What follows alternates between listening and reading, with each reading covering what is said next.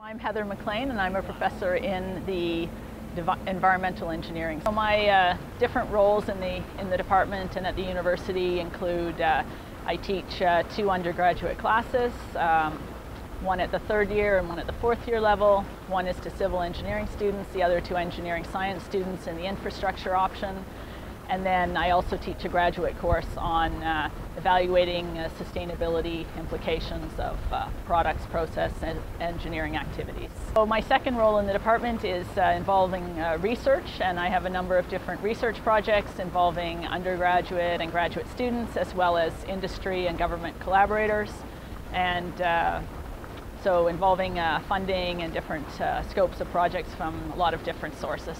Well, currently I have a number of different uh, research projects and uh, they sort of fall into the area of looking at uh, energy systems and which energy systems, particularly either ones that are out there currently or emerging technologies, for example. We're looking at uh, environmental, economic, technical, and then sometimes some social aspects associated with these energy systems. So one of the projects we have is looking at bioenergy systems and uh, a recent project is looking at aviation biofuels. So we are developing some uh, process-based models to examine different technologies that are out there for, to produce aviation biofuels.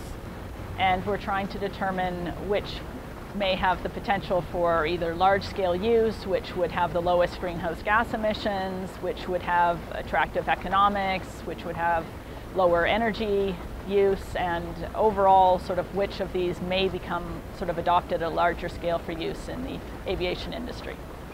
Um, the aviation industry is looking to reduce their greenhouse gas emissions by 2020 and then 2050 and so determining what role, if any, uh, essentially, biofuels will play in this and how much reduction can be achieved uh, is going to be critical. So I have a number of master students as well as a postdoctoral fellow working on the aviation biofuels project. And we are as well looking at some additional transportation biofuels examples. We develop and as well apply life cycle systems based approaches Sometimes we develop models to integrate life cycle assessment with alternative technologies, alternative uh, developments of models, such as uh, real options approaches, life cycle costing, and as well more detailed sort of chemical process modeling software such as, as Aspen Plus. The overall aim of the projects is to determine really the sort of advantages, disadvantages, um, quantitatively but also qualitatively of novel products, processes, etc. for producing uh, these biofuels. So are these biofuels actually better or worse for the environment? Um, and if so, then can we move for, further on to examine the, the full scale sort of implications of them?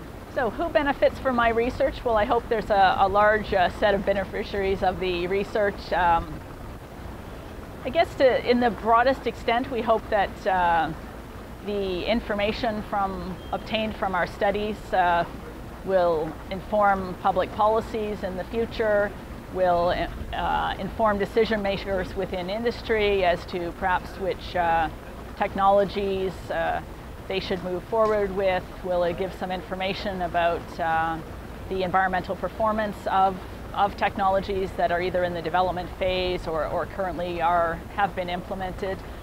More directly, uh, the research uh, has benefits in the classroom as I'm able to present uh, sort of up-to-date uh, research results and information associated with my projects and associated with collaborations we have in industry and, and government and present that to both uh, graduate and undergraduate students in the coursework, integrate that into sort of coursework, and as well, it benefits the graduate students and undergraduates uh, directly working with me on the projects uh, because most of them all go out to, to get really great jobs in the, when they finished at U of T. And uh, graduates from the group are very sought after from government and industry as well as academic roles. And so uh, you know, overall, that's one of uh, professors' greatest successes uh, are to see their graduate students go on and uh, make more money than they do and uh, go on to, to better, bigger and better things than the professors that taught them. So uh, I'm excited to stay in touch with my graduate students after they leave the group as well as undergraduates and uh, So that's, I think, one of the most rewarding aspects of being a professor.